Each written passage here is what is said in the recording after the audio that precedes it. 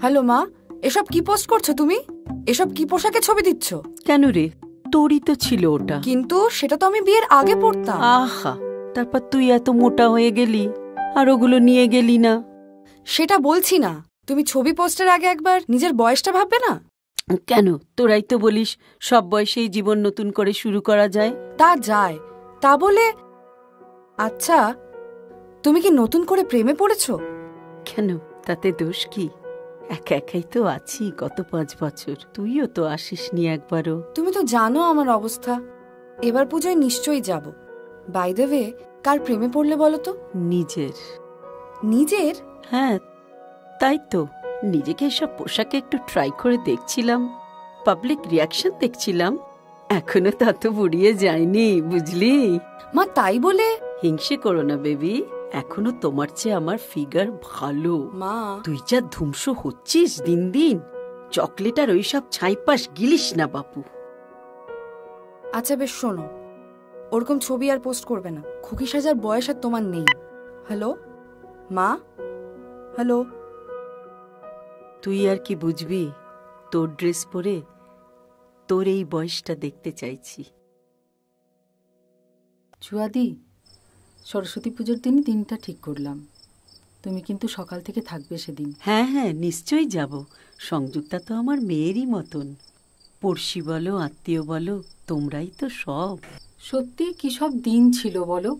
তোমাদের বাড়ি মানে কত লোকজন হইচই একেবারে গম গম করতো। তারপর অমলদাও চলে গেলেন হুট করে। এখন তো বাড়িটার দিকে তাকালেও ভর দুপুরে গা ছমছম করে। সে আর কি করব বলো?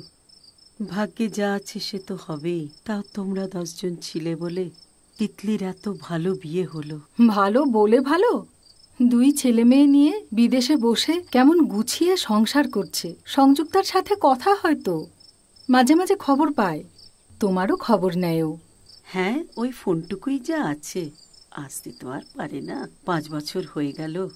কি করবে বলো? সংসারের চাপ বড় চাপ। আচ্ছা আজ তাহলে উঠি। আচ্ছা শোনো সংযুক্তাকে একদিন পাঠিয়ে দিও আইবুড়ো ভাত খেতে। পিসি হিসেবে এইটুকু তো আমার কর্তব্য। হ্যাঁ হ্যাঁ নিশ্চয়ই।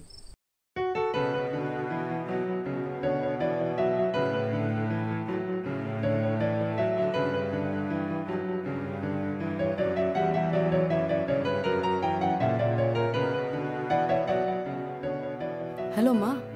বলছি তুমি এখনও রেগে আছো? উফ তুমি তো জানো অভির অফিসের চাপ তারপর সামনে বাচ্চাদের পরীক্ষা। আমাকে কত দিকটা সামলাতে হচ্ছে? আচ্ছা শোনো না মা।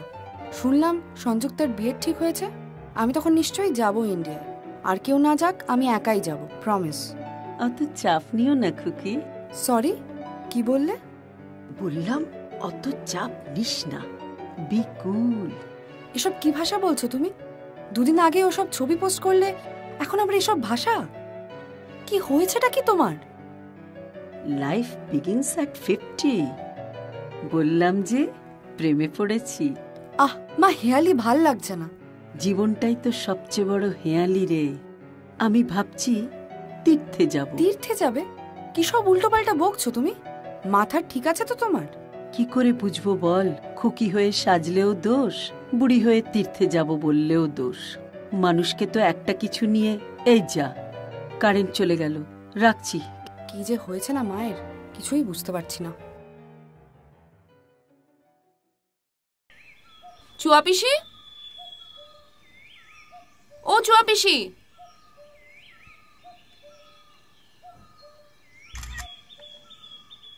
এই তো চুয়া পিসি। ওয়াও কি সুন্দর আলপনা। তুমি দিলে পিসি? হ্যাঁ রে ভালো হয়েছে। দারুণ লাগছে। তুমি এত ভালো আঁকো। কই আগে কখনো বলনি তো? সে কি আর বলার কথা মা? বিয়ের আগে তো সব বান্ধবীদের আত্মীয়দের আমিই সাজাতাম। আজ এখানে কাল ওখানে তত্ত্ব সাজানো কোণে সাজানো। তাহলে ছেড়ে দিলে কেন? বিয়ে হয়ে এদিকে চলে এলাম। মেয়ে হলো সংসারের চাপ বাড়লো। ইস তুমি কত কি পারো পিসি? একটা কথা বলব? বল। আমার বিয়েতে না তুমিই সাজিও। এই না না এখনকার মেকআপ সব জানি না। আমাদের সব সেকেলে ধরন। আ পিসি বিয়ে ব্যাপারটাই তো পুরনো। সেই আগুন জেলে বেনারসি পরে পুরনো মন্ত্র আউড়ে। তো বিয়ের মেকআপটা এথনিক হওয়াই ভালো? তোমার ডিজাইন ইউনিক হবে পিসি। তোমাকেই সাজাতে হবে। আরে ওসব আমার দ্বারা হবে না। তুই পার্লারেই সেজে আসিস। তুমি জানো পার্লারের কত খরচ? আমার একার চাকরি। তুমি আমায় এইটুকু হেল্প করবে না? বেশ, তুই যখন বলছিস, আমি তোকে সাজাবো। কিন্তু কেমন হলো সেটা ঠিকঠাক জানাবি কিন্তু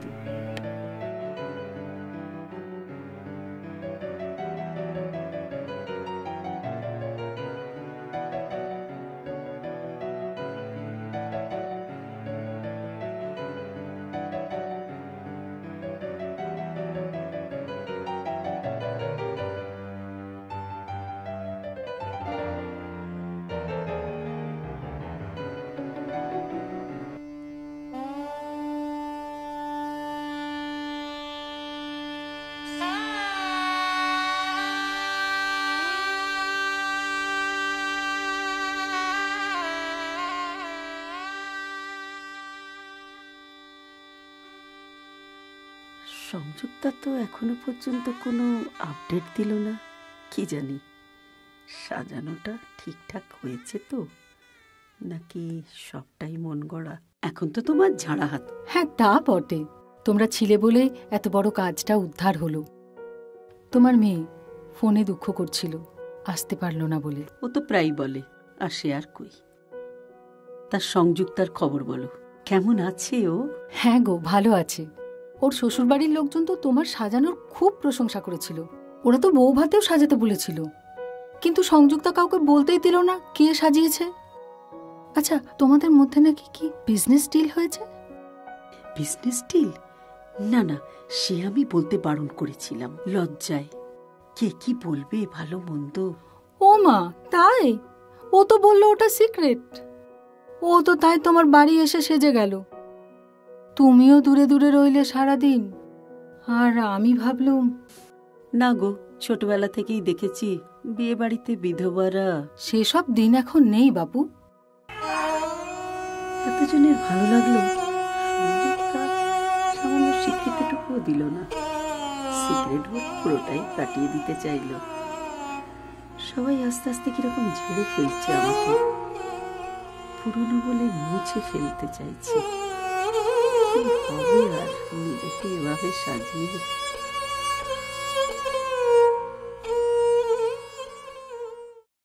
হ্যালো চুয়াচন্দন সাজঘর? চুয়া চন্দন সাজঘর? আমি সংযুক্তার বন্ধু বলছি। ও। আপনি খুব কম কাজ করেন শুনেছি কিন্তু আমার দায়িত্বটা আপনাকে নিতেই হবে। আমি সংযুক্তার বিয়েতে ছিলাম। আপনার কাজ ছাড়া আমার বিয়েটা জাস্ট ইম্পসিবল কিন্তু আমি তো দিদি ভাই প্লিজ। আসলে ও আপনাকে আর আমাকে ব্যাপারটা সারপ্রাইজ দিতে চেয়েছিল। তাই একটু যোগাযোগ করতে দেরি হয়ে গেল। আহা তা বলছি না। বাইশে মার্চ আমার বিয়ে। আপনি আমাকে সাজাবেন। না না এত করে বলছো যখন। ঠিক আছে দেখছি। Thank you. পেমেন্টের ব্যাপারে আমি আপনার বাড়িতে কথা বলতে আসছি। কেমন? ওকে।